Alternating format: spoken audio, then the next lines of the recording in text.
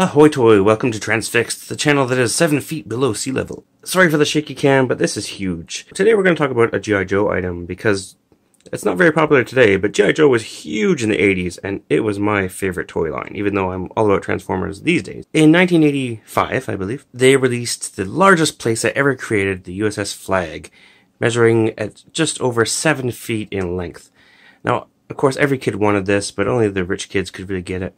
And um, I never had it, but as an adult, I'm slowly building it piece by piece, getting pieces on eBay. And uh, I wanted I something, some semblance of a deck, so I built a little piece out of wood that I'm showing you here.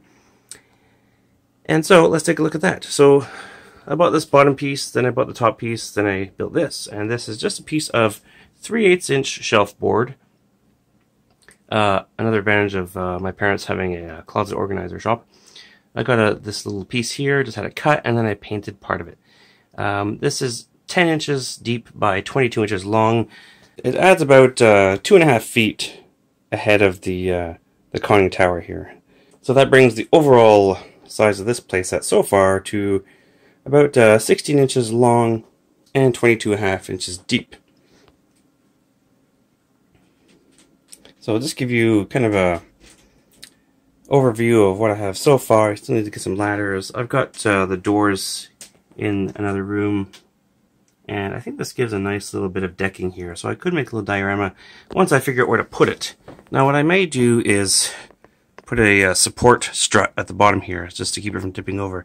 It's pretty stable just sitting on this base here. Um, but it could use something. Or I might actually attach it to a table. This could actually hang off the table, right? If I put it on the corner, you could just butt up against it here. Now you can kind of see the way I put this together. I'm going to take this off and show you uh, more detail about how I did this. So I got this idea just because I thought this is the most playable part of the playset. I don't need the whole deck. I'm not going to have fighter jets posed on it. I don't have that kind of room in my house. But uh, this gives me something I could probably find room for, although I still haven't quite solved that problem.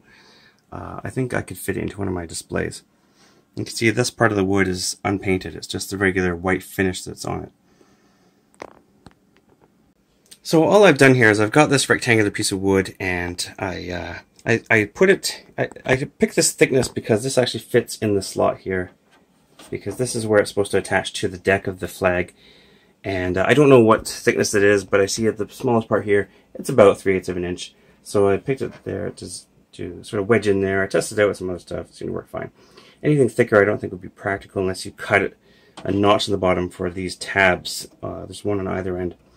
So, um, so what I did is I just I put it in there and I lined it up the way I liked it, and then I took a pencil and you can see the line. I drew a line, traced the outside and the inside of the uh, of the first floor there, so I knew where to paint. And then I masked it off with painter's tape, and then just spray painted gray onto the deck part. And uh, it took about um, I'd say three coats. And then I just topped it off with a clear coat for protection and uh, all over the whole thing to protect the white part too although it's a bit scratched up.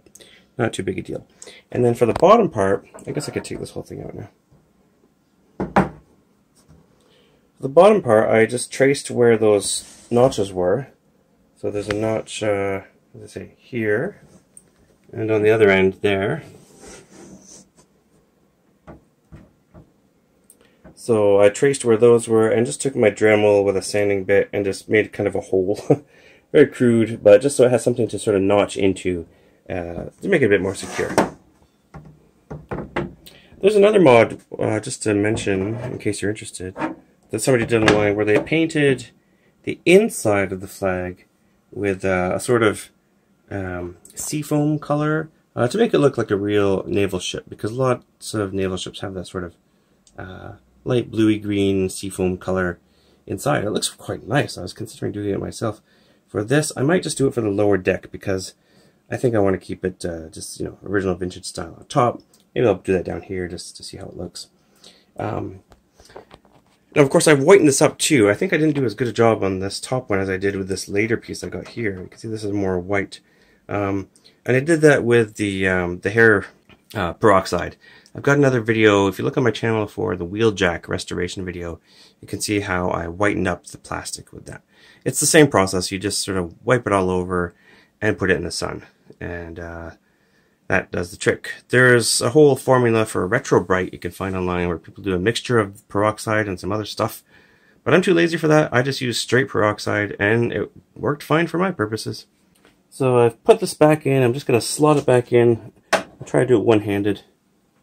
It just slides in and will eventually hit those notches. Okay, I can't do this one-handed, but you get the idea, I hope. So I've put it back in now, and there's a nice satisfying little snap when it when those tabs go into the holes.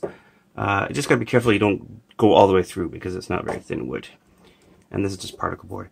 You could find something else. Um, like I said, there were 3 eighths seems to be a good thickness. If you can find anything that work for that. Or perhaps you can use plastic if you can find it that thick. Yeah, this is shelf board. It's supposed to have a metal edge put onto it. I don't know. Uh, you could probably find this at a hardware store for, um, or like Home Depot or something like that.